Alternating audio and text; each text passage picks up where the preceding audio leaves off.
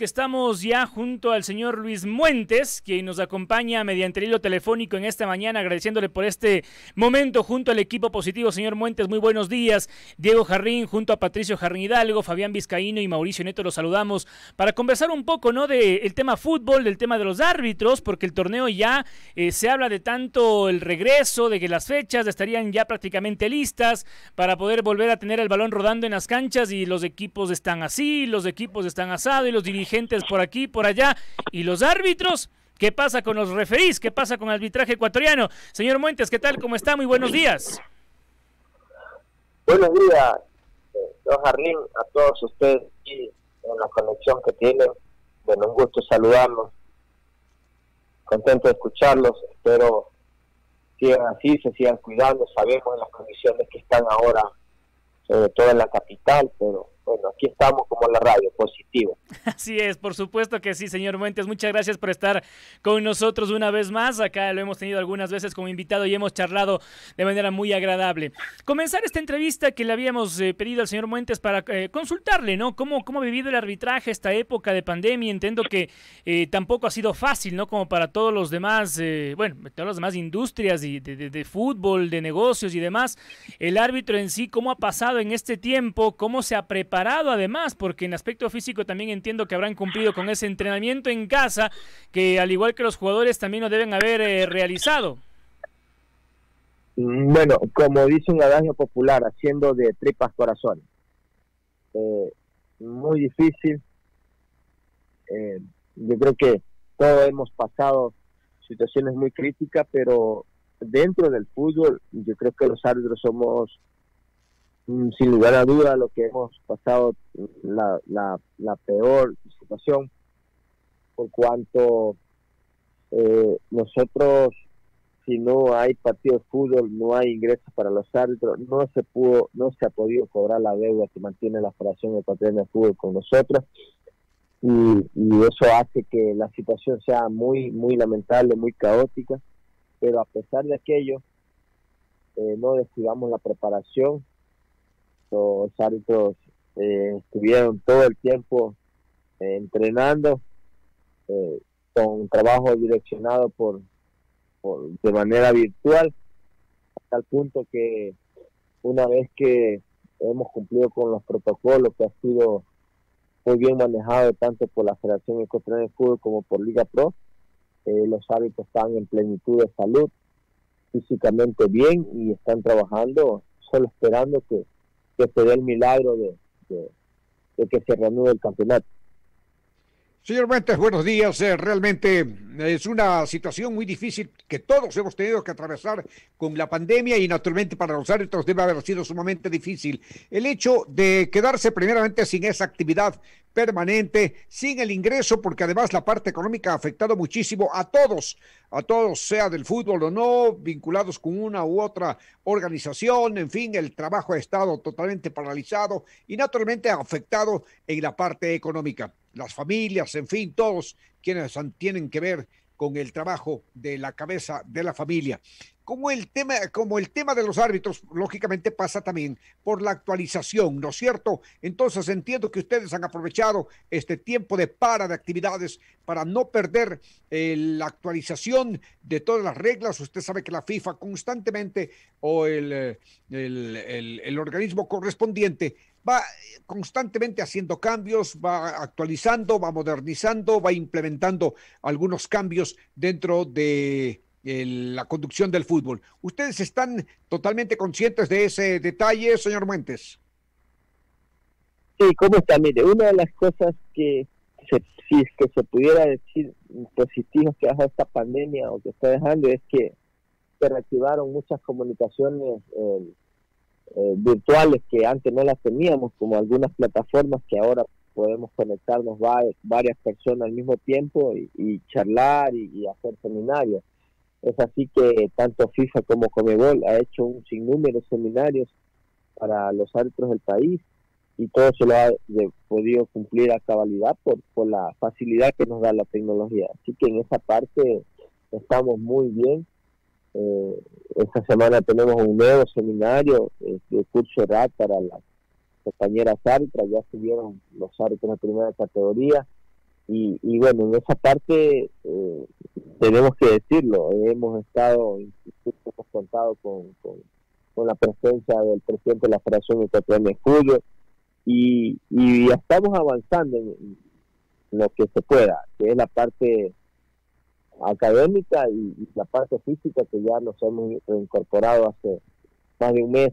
Y, estamos bien, hasta el punto que los partidos amistosos que se han jugado acá en Guayaquil eh, se ha demostrado que, el arbitraje está muy bien. Y, como digo, esperando el milagro porque ya para nosotros como árbitros es una situación lamentable la que vivimos en la parte económica y, solo esperando que eso no nos afecte en la parte emocional porque un árbitro eh, para dirigir un partido de fútbol necesita estar bien en, todo aspecto. Y, bueno, eso estamos tratando de, cuidar y, rogando, rogando, les digo rogando porque eh, a veces no entendemos por qué el fútbol todavía para ciertas autoridades lo, lo, lo ven de una manera con, mucha indiferencia, pero nosotros lo único que podemos hacer es esperar y seguir trabajando como lo hemos venido haciendo. Señor Muentes, un cordial saludo. Fabián Vizcaíno, desde el otro lado, pues le manda un cordial saludo, esperando que esté bien de salud, igual que su familia. Tuvimos el caso de tres compañeros suyos que estuvieron infectados. Entiendo que ya superaron esta adversidad. Y bueno, evidentemente se va a venir el reinicio del campeonato, eso es bueno para todos, para ustedes también. Quisiera que me comente cómo está el apoyo por parte de la Federación Ecuatoriana de Fútbol, de la Liga Pro, hacia los árbitros específicamente en cuanto a lo que tiene que ver precisamente con estos temas de bioseguridad, de información y de comunicación hacia ustedes, de, de coordinación sobre todo para lo que va a ser el reinicio del campeonato, Dios mediante el 14 o el 15 de agosto. Y aparte de eso, pues bueno, creo que los más beneficiados de la no presencia de público en los estadios son ustedes, ¿no? Yo creo que en ese sentido ya no va a haber esos insultos, a veces injustificados, ¿no? Hacia los árbitros. E, evidentemente siempre tienen todo nuestro apoyo, pero quisiera que me comente un poquito cómo está el tema de la relación con la Federación Ecuatoriana de Fútbol, con la Liga Pro, para ya el reinicio del torneo, el apoyo que debe existir, evidentemente. Bienvenido a nuestros micrófonos nuevamente, señor Muentes. a ver, le voy a decir algo, le voy a contestar del final hacia el principio, eh, de acuerdo a su, interrogante. Eh, yo como hombre de fútbol y, los árbitros, yo creo que todos que estamos acá somos hombres de fútbol y, lo que más nos apasiona y nos llena es ver un estadio eh, lleno en las graderías, valga la redundancia, realmente es parte del espectáculo. yo me pongo triste cuando voy a un estadio y no, veo hinchada. Puede ser el mejor partido, pero si no hay hinchada, como que no, no, no, no me llena a mí el fútbol. Por eso es que no, no, no veo fútbol mucho por televisión. Prefiero ir al estadio y paso metido en los estadios, lo que más extraño.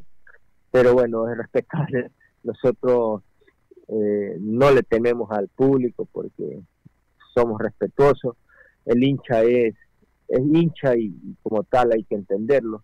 Que allí, eh, cuando ya se convierte en un tema de, de violencia, ya es otra cosa, pero ahí dentro de, lo normal este, nos gusta que esté el público en, la cancha, en las gradas. Eh, respecto a la relación que usted pregunta, está muy bien, tanto con Federación como con Liga Pro. el día mañana tendremos una reunión con los presidentes de los clubes Primera B, el día jueves tendremos con los eh, presidentes de, los, de, de la Serie A para tratar algunos asuntos que, bueno, que creo que más es de información, de, llevar, de llevar eh, la fiesta, eh, se puede decir en paz porque no hemos estado peleando, pero, pero después de esta pandemia reactivar el fútbol si se necesita tener más acercamiento. De mi parte creo que a mí me ha golpeado mucho todo lo que he vivido acá en Guayaquil y creo que la gente debemos entender que que todo nuestro ego, orgullo que hemos tenido, la soberbia muchas veces, en un momento dado no nos, no nos conduce a nada bueno, mejor dicho, nunca conduce a nada bueno, pero hoy prima el diálogo, las buenas relaciones y esperemos continuar así. Yo creo que no cabe otra si queremos realmente levantar el fútbol ecuatoriano.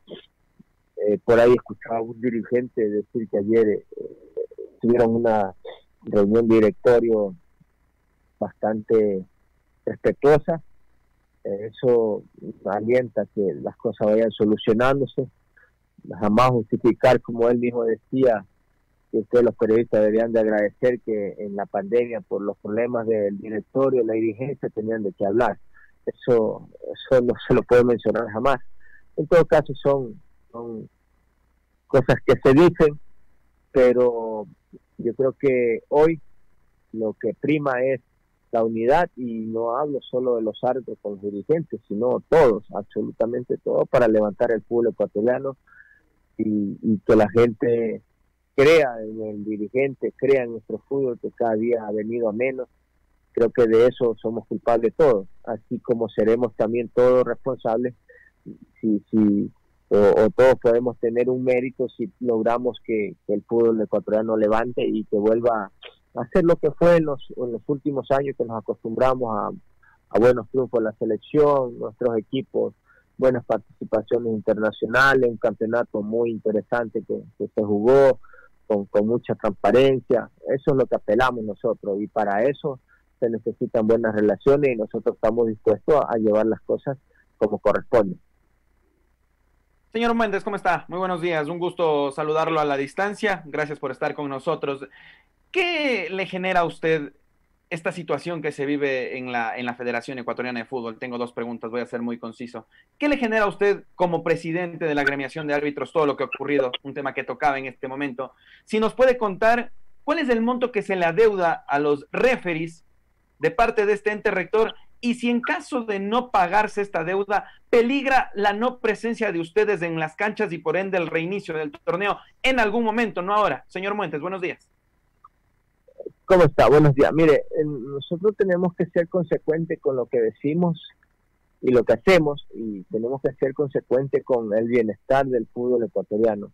Y es cierto, estamos muy afectados por la paralización del campeonato muy afectados porque no se ha podido cobrar eh, la deuda a la federación. Buscar culpables ahora no, no es nuestro, nuestro fin porque sabemos que el principal culpable es esta, esta pandemia que, que a todos nos ha dejado o nos tiene muy mal porque la tenemos todavía muy, muy latente. Ustedes en Quito son testigos de lo que realmente se está viviendo. Pero creemos que, que que nosotros podemos eh, hacer mucho, mucho por, por el fútbol ecuatoriano.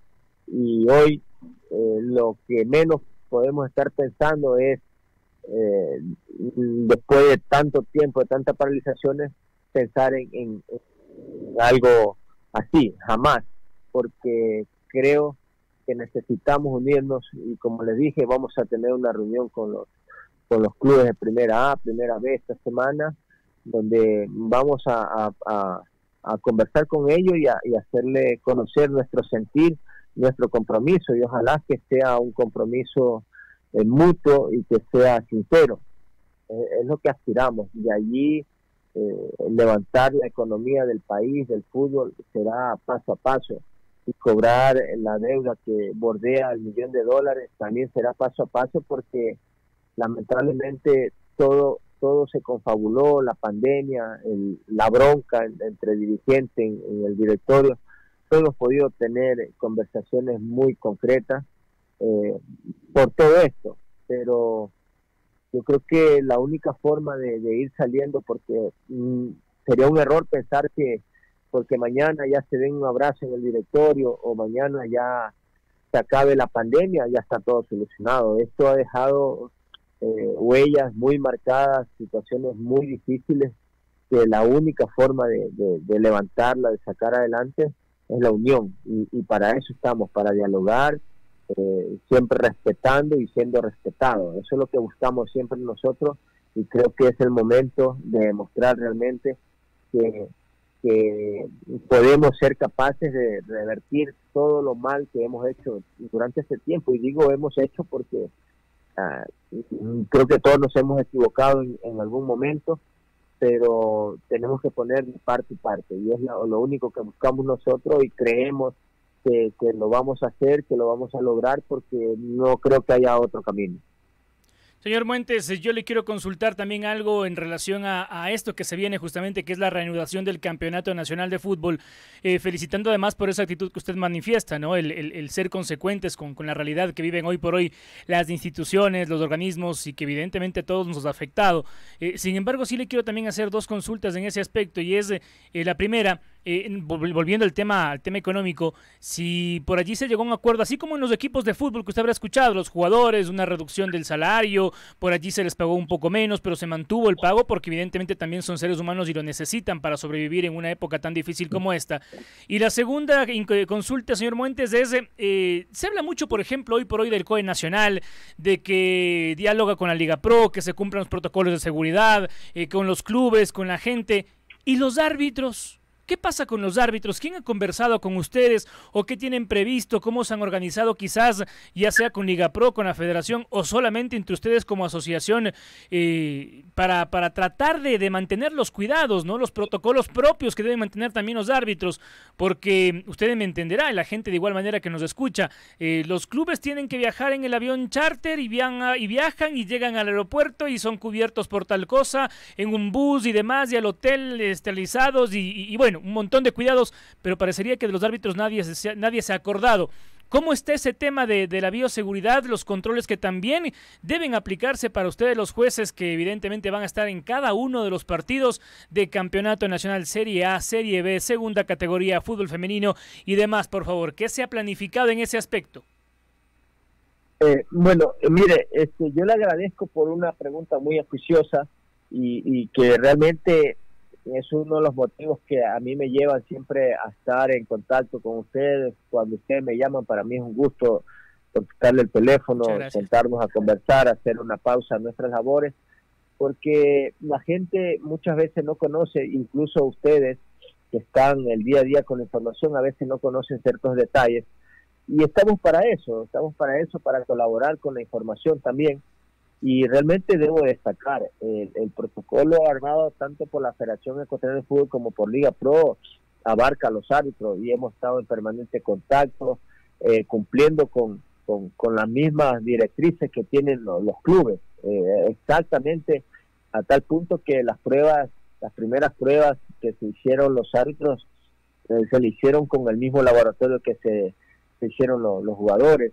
Este, los partidos que se han hecho amistoso, el, partido de, de, prueba que se hizo entre Barcelona y Guayaquil City, todos cumplimos con el mismo, el mismo protocolo, fue algo, no estoy exagerando, pero fue algo perfecto para mí, la forma en que se la hizo, y, estamos todos involucrados, y es por eso que, que yo me escucha muy positivo, animado a que vamos a hacer un, equipo de trabajo y el equipo de trabajo comprende todos quienes estamos inmersos en el fútbol ecuatoriano.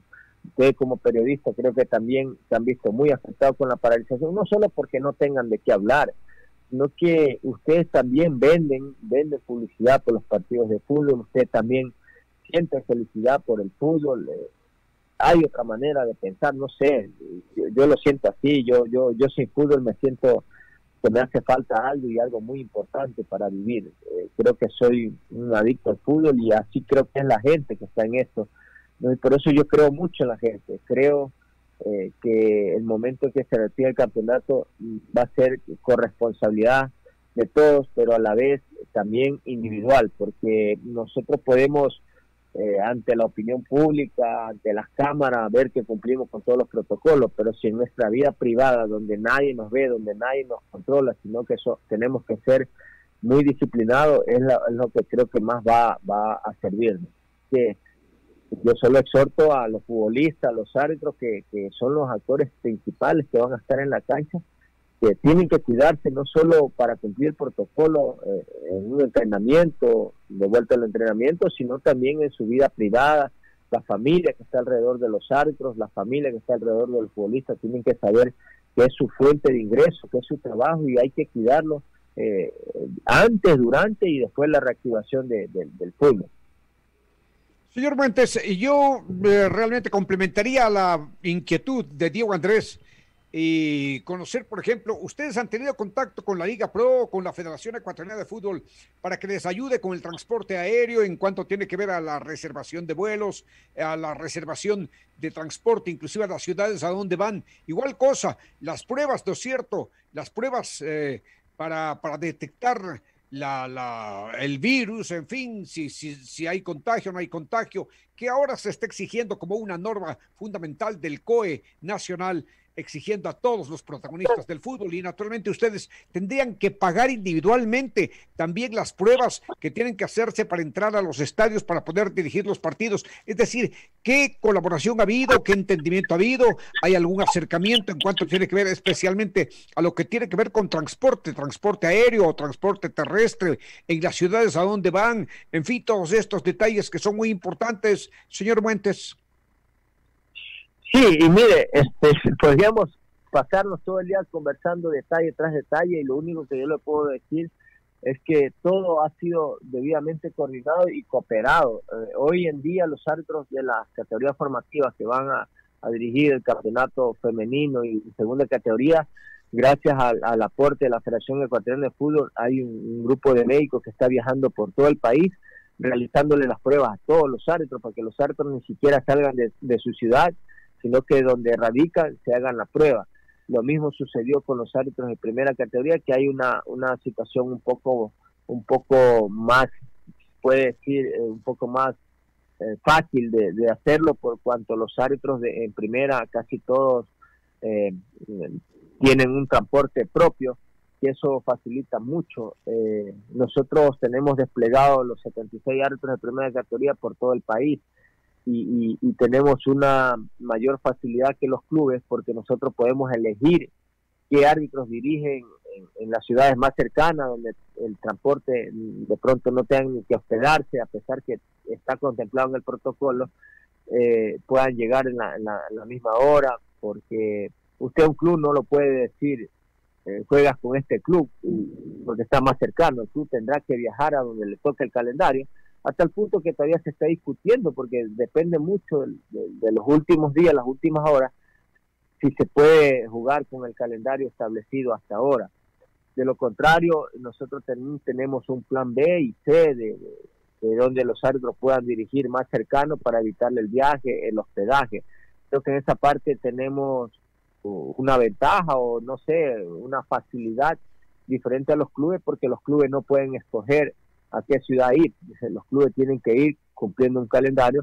En cambio, nosotros los árbitros tenemos esa, esa facilidad, esa facultad que podemos eh, ir haciendo eh, los viajes más cortos para los árbitros, dándole la rotación necesaria. Pero creo que en esa parte estamos más tranquilos y, y preparados. Yo estoy convencido que de parte del arbitraje ecuatoriano estamos completamente preparados para la iniciación del campeonato.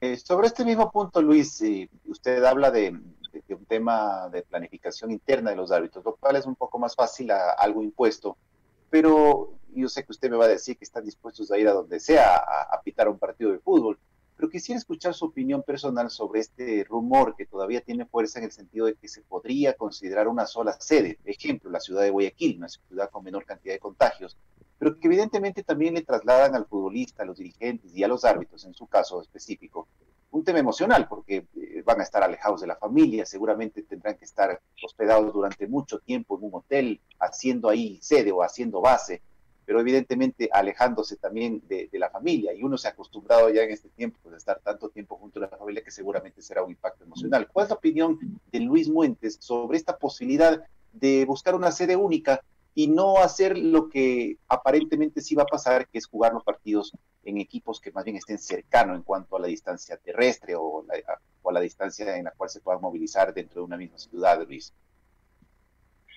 Mire, eh, eh, yo tengo un hijo de 13 años y cuando eh, empieza, tiene, tiene cinco meses metido en la casa y me empieza a decir algunas cosas, le digo, hijo, las cosas cambiaron para todo en el mundo entero y hoy día no decidimos nosotros lo que queremos o lo que no queremos. Muchas veces tenemos que adaptarnos a una situación que es diferente a la que vivíamos en lo económico, en lo, emocional, en, todos los aspectos. Eh, los árbitros eh, están padeciendo mucho en estos días y, yo creo que eh, lo, no, no tendríamos ningún reparo y no lo tendremos así si se llegara a dar el, el, caso, que creo que sería un, caso extremo, pero es la fuente de ingresos la única que ellos tienen y esto es como, como, como el marinero mercante que muchas veces le toca estar tres meses adentro y tres meses afuera. solo una, una, una comparación que de pronto no viene al caso, pero es nuestro trabajo y tenemos que adaptarnos a, a la nueva realidad que tenemos y bueno, la familia lo, lo va a sufrir, pero a la larga lo va a entender porque a veces no hay otro camino. Entonces, eh, nosotros estamos preparados para eso, tenemos que trabajarlo también en la parte emocional porque no voy a decir que no, no, no es un cambio o no es algo que, va a interferir en, en, la parte emocional, pero tenemos que prepararnos, estamos preparados para la parte técnica, física, pero de concentrarnos en una misma ciudad eh, no va a ser nada fácil, pero tampoco nada imposible. Creo que estamos con las ganas de reactivar el fútbol, con la responsabilidad de lo que esto significa y bueno, y si toca hacerlo, pues no tendríamos ningún problema. Señor Montes, ¿cómo ha sido la preparación de ustedes en este tiempo de pandemia? No solamente en el aspecto académico, en cuanto a las reglas, en cuanto a todo lo que tiene que ver a seminarios que usted ya nos explicaba, sino en el aspecto físico. ¿Cómo han hecho para ayudar a los árbitros, usted como la cabeza de este gremio arbitral, para buscar el bien de ellos en el aspecto justamente físico, valga la redundancia, porque tienen que correr y mucho en un partido, tienen que saber colocarse, tienen que estar en la jugada justamente. ¿Cómo ha sido la preparación de ustedes ya cuando faltan solamente de momento 11 días para que comience el fútbol, señor Manuel? Bueno, eh, la, preparación física también conlleva a tener una, una alimentación eh, correcta, balanceada, y en eso yo tengo que felicitar y destacar el, cuidado que han tenido en todo este tiempo de, confinamiento los compañeros árbitros. Aparte que hoy la tecnología nos permite poder compartir ciertos trabajos, incluso las personas eh, especializadas en esto, como Juan Carlos Albarracín, que, es un magíster en la preparación física, que hoy es miembro de Comebol, del departamento de, de, de, eh, físico de, la misma comisión de árbitros en Comebol, eh, él pudieron adaptar ciertos trabajos que se los puede hacer en, en lugares reducidos, que no es lo mismo, obviamente no es lo mismo, pero te ayuda muchísimo y, y, con el tiempo que ya tenemos fuera de, casa entrenando con los protocolos, eh, se ha podido eh, recuperar la, parte física que no se la perdió en su totalidad porque siempre se hizo un trabajo, algunos compañeros pudieron refugiarse en fincas, otros tienen terraza en la casa, incluso ese trabajo se lo podía hacer en la sala de la casa, compartíamos video y realmente eso es digno de destacar, se hizo un esfuerzo tremendo y por eso es que en el momento en que salieron a los entrenamientos, pues, dentro de las evaluaciones han estado muy bien. Y bueno, con todo el tiempo que ya tenemos entrenando en cancha, creo que hemos recuperado la parte física, es así que la hemos demostrado en los partidos amistosos, están muy bien. La falta de ritmo es normal, eso se va a ir ganando con el correr de los partidos, igual le pasa a los, a, los, a los clubes, los jugadores, no vamos a esperar, vimos algunos partidos jugadores eh, bastante impreciso, pero es de entender, eso es algo que, sabíamos que iba a suceder y bueno, los árbitros nos estamos preparando para, para eso y bueno, la realización del campeonato si se da para, para, para el 15, estoy convencido que estaríamos bien, ya le digo, con, con un poco de, de ritmo que se va ganando con el transcurrir de los partidos, pero creo que eso lo vamos a padecer todos y no hay eh, ningún de parte nuestra, no hay ningún pero para decir no podemos iniciar. Estamos listos, estamos preparados y con muchas ganas. Es de bueno realmente escuchar eh, aquello, señor Muentes, y le quiero también consultar algo en relación a algo que usted acaba de mencionar, que es la Conmebol. La Comebol ayer también se reunió con la Secretaría de Riesgos, acá en el COE Nacional, para averiguar un poco cómo están los protocolos, pensando en que ya en el mes de septiembre y octubre se reinicia la Copa Libertadores, la Copa Sudamericana, y hay un tema más que también son las eliminatorias, en donde también tiene que haber arbitraje evidentemente internacional. ¿Ustedes han tenido algún tipo de contacto quizás con la Comebol, con un miembro de este organismo a nivel internacional, para que también sepan si quizás tendrán algún tipo de, de ayuda económica, por ejemplo, para los vuelos, así como le están costeando los charters de algunos equipos, de ayer se dio a conocer aquello, pues evidentemente los viáticos y demás temas con los árbitros, los mismos protocolos de seguridad que hay que cumplir, pensando en estos torneos internacionales en donde el arbitraje ecuatoriano se estaba destacando eh, de esta de buena manera, yo diría, eh, para conocer también un poco esos detalles, si hay algún tipo de, diálogo o ha existido algún diálogo con organismos internacionales para este aspecto, señor Muentes, por favor. Sí, este, total planificación, en todos los seminarios se los habla, nosotros tenemos un, director de arbitraje en la comisión de árbitros que es Omar Ponce, de, de, todos ustedes lo conocen, de mucha trayectoria, él ha estado participando incluso presencialmente ante la pandemia en varios seminarios, ahora en la pandemia igual, con permanente contacto con, autoridades de Comebol. Y bueno, también aclararlo, el tema de viáticos y, el, gasto de transporte siempre ha sido siempre ha sido cubierto por Comebol. Eso lo, lo hacían mucho antes de la pandemia y, y obviamente lo van a hacer ahora. Así que por ese lado no hay ningún problema solo hay que estar bien eh, preparado para cumplir con el tema del protocolo, cuidarse al máximo, porque siempre va a ser un riesgo. Esta pandemia es un, este virus es un virus muy, muy, eh, muy complicado que, hay que saber eh, estar consciente de, los riesgos que se corren y, cómo prevenirlo. Así que los árbitros están muy inteligenciados en, aquello y, y, el momento que, empiece a jugarse tanto la Copa Libertadores, la Sudamericana y la eliminatoria, lo único que tenemos es ganas de, volver a, la cancha y, eso tenemos también que demostrarlo con, con, disciplina, con respeto a, lo que estamos viviendo y, no olvidar jamás que lo que lo que hoy día más más necesitamos es, es sumo cuidado y eso ya corresponde individualmente a cada uno que tiene que cumplir con un protocolo que todos lo conocemos. Naturalmente que todos los organismos que controlan el fútbol a nivel nacional o internacional se preocupan de los detalles y en eso no puede pasar por alto el tema de los árbitros. Entendemos que aquí, por ejemplo, la Liga Pro, la Federación Ecuatoriana de Fútbol estará preocupada también de este tema, como también a nivel internacional, la CONMEBOL, la FIFA. Usted sabe, el International Board está permanentemente en contacto e inclusive se hablaba de alguna posibilidad de eh, cambiar de alguna manera el sistema electrónico de control que es el VAR y que se trataría de implementar una tecnología mucho más... Eh, más avanzada inclusive para detectar cierto tipo de jugadas, en fin, especialmente eh, aquellas que se producen en, la tiza de gol, en el área, y que naturalmente que es lo que se está modernizando ahora ya con el sistema tecnológico del VAR. Sobre este tema, ¿han tenido ustedes algún conocimiento, señor Muentes? Eh, como le decía, permanentemente eh, comunicación, incluso el, el, antes de la pandemia ya Aquí se había dicho que se iba a jugar la Copa Ecuador este, con, el, con el VAR y se estaban preparando y hemos seguido la preparación, tanto árbitros como asesores de árbitros se han seguido preparando y, entendemos claramente todos los cambios que se tienen que dar. Yo creo que hoy eh, la dirigencia del pueblo ecuatoriano tiene que mirar eh, con, con, mucha preocupación el tema de, la tecnología en el fútbol por cuanto en los países de Sudamérica, en muchos de ellos, y se los nombro, Colombia, eh, Perú, eh, Chile, Brasil, Argentina, ya juegan sus campeonatos con, el tema del VAR. Y eso es dar ventaja si nosotros no adaptamos la tecnología a nuestros fútbol.